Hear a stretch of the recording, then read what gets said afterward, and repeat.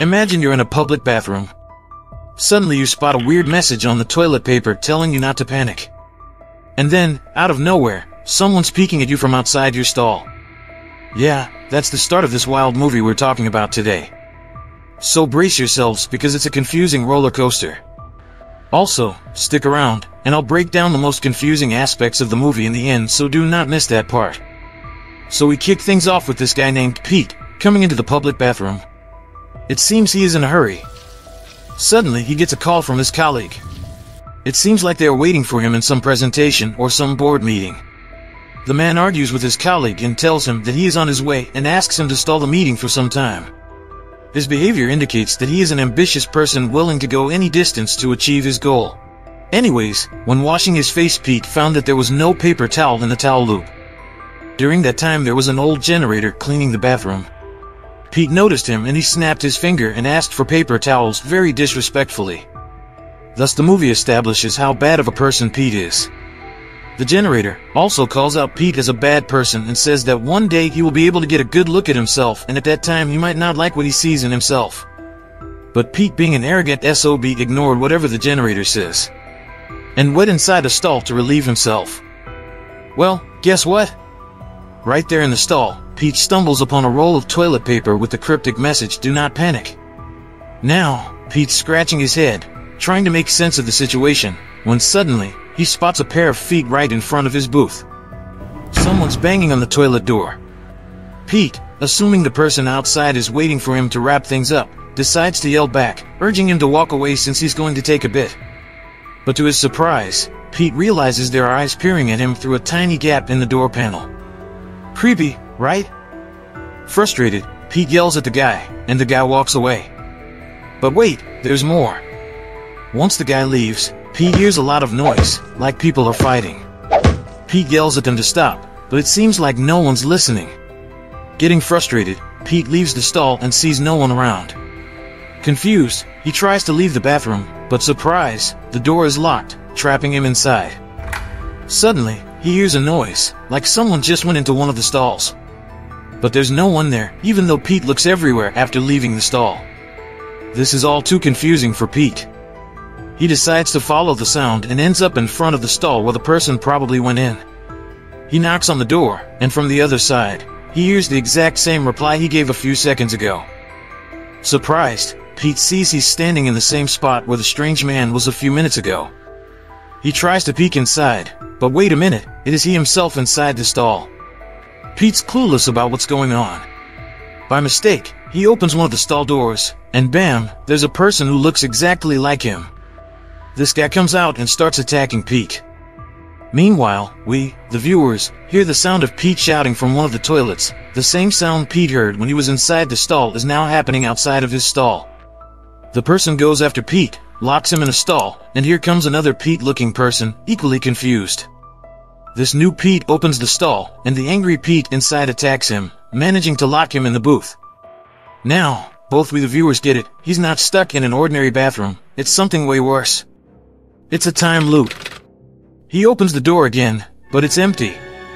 So, he tries the other door and, surprise, finds another Pete, but this time, shockingly, the guy's dead, seems like he shot himself. Pete's grossed out and ends up throwing up next to the deceased Pete.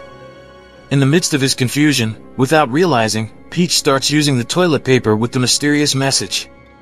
Now, it's not just don't panic on there, there are a bunch of messages. As he reads, he figures out he probably wrote them for himself. In the message it is explained that he is trapped in a time paradox. And the time in the toilet continuously going forward and backward randomly. To break free, he's gotta take out his future self. As Pete's absorbing all this info, a stall door swings open, and here comes another Pete. This Pete seems to have a clue about the chaos, hinting that he's from the future. But not your usual straight line future. He's from a different version, and every time our Pete here makes a different move or decision, it spawns a new timeline with a different future Pete. Now, here's where things get messy. Past Pete suddenly recalls the message on the toilet paper. Kill your future and close the door to come out of the loop, which means future Pete has to bite the bullet to break the time loop, and it's got to happen at exactly 3.30, the same time the dead Pete's watch was broken. So, who's stepping up to sacrifice themselves? Well, it's a head scratcher, especially considering our boy Pete is known for being a bit self-centered. They dive into a debate, trying to figure out who's gonna take one for the team. The logical choice would be future Pete to make the sacrifice, but he argues he can't die because he time traveled from the future, technically making him the past. However, the Pete from the past manages to talk some sense into future Pete, convincing him to step up and get into a stall. Now from this point we the viewers can see two different timelines, one with the Pete from the past who locked himself in the stall and the future Pete who was outside supposed to sacrifice himself. But it turns out that Pete from the future is still not convinced about sacrificing himself so he tries to open the door of the stall and argue with Pete from the past. But to his surprise, he finds out that Pete is dead. This time there was no gun in his hand and his clock is also not on 3.30, which means that someone must be there who shot him. Terrified, he tried to get out of the toilet, but it was shut tight. Cut to the other Pete from the past. It seems like in this version of the timeline he is not dead. He came out of the stall and tried to get out, but he found out that the door was still locked. Suddenly in this timeline, another Pete comes out of the same door. It seems that this Pete followed the same actions taken by the existing Pete by asking the future Pete to sacrifice himself. But, surprise surprise, it didn't work out. Maybe because future Pete wasn't quite ready to make the ultimate sacrifice. Now, we've got these two Petes back at square one, arguing over who's going to step up. It's clear as day that neither of them wants to take one for the team. So, here we are, watching multiple Petes in this timeline, going at each other, fuming that future Pete didn't do the deed, resulting in this chaotic Pete gathering. While this Pete drama unfolds, our main guy, the original Pete we've been following, finally realizes this isn't going anywhere. No Pete's willing to sacrifice himself, and we're stuck with a bunch of Pete's multiplying. So, he takes matters into his own hands.